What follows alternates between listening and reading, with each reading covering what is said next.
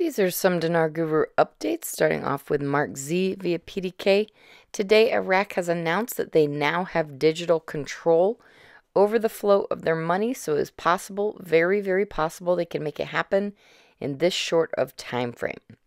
It is well within the window we have been expecting. All right, Frank 26, uh, Firefly, the CBI governor, is on News Station 1 saying the CBI is determined to stabilize the exchange rate and the next phase is coming. They're calling it the second stage phase. Frank says the 20 or the second stage phase of the monetary reform in my opinion is to reveal a new exchange rate and your new small category note to you as Iraqi citizens. Firefly says it's all the talk in the streets. We are expecting that soon.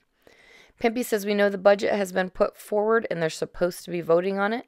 I made a suggestion that it appeared they might make another exchange rate change before the budget is released 100%.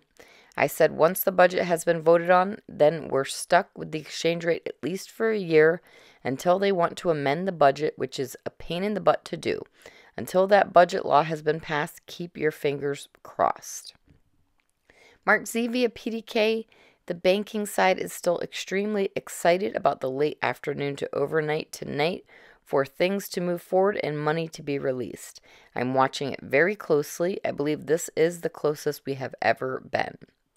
Nader from the Mideast says if you talk about the private sector, look at it a year ago and look at it now. It's gone 60 to 70% better. And Pimpy says, I can tell you when I'm speaking to people, they're confusing what the exchange rates are. There are different types of exchange rates. One is the official rate, which is 1,300 dinars for every dollar. The other one is the market rate, which is 1460 dinars for every dollar. The market rate, which is like the black market rate, is what people are willing to pay for the US dollar. They're willing to exchange 1460 dinars for every dollar. In other words, they will pay you more to get their hands on the US dollar, and this is causing a problem. You're looking at a 160 dinar difference between the two rates, which is equivalent to 11 cents. That doesn't sound like much, but it adds up quickly. If you had $1 million and you want to go buy the Iraqi dinar on the black market at 1460 dinars, you would get 1 billion 460 million dinars. You would take it into the bank, sell it to them for 1300 dinars for every $1 and you would make a profit of 160 million dinars.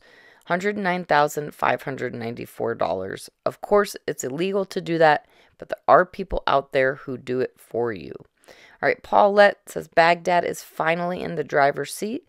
Let's hope the coordinating framework turns out to be good, guys. We are at a time nobody truly knows who is good or bad for the world in this world. My biggest question is will Al Maliki turn out to be good, bad, or flipped? If I knew the answer, I would have a better understanding of where the RI process currently lies. All right, Hennig, article quote Revival of the Hanging Gardens in Iraq. The Central Bank of Iraq is witnessing in the design of its new building hanging gardens that brings to mind one of the seven historical wonders of the world. The implementation of the first listed hanging gardens in Iraq, which will coordinate or which I'm sorry, will decorate the roof of the base of the new central bank building. These cats are positioning themselves for a new renaissance. All right, Samson article quote The foreign minister reveals the details of Washington's visit. There are no American conditions and the currency will soon stabilize. Quote, imminent stabilization of the exchange rate, unquote. Frank 26 says the new keyword currency reform. You went through the monetary reform, you're going through the economic reform. The Iraqi citizens are going through the currency reform. Notice I said you are going through the economic reform. The fact that you purchased Iraqi dinar is going to help their economy. But the citizens of Iraq will have purchasing power through a new mechanism in second stage that will allow them to have a new exchange rate when the dinar starts to float. And lastly, Mark Z via PDK. I'm still hearing phenomenal stuff from the banking side.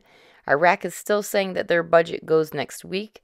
My understanding is that the budget gets introduced to Parliament.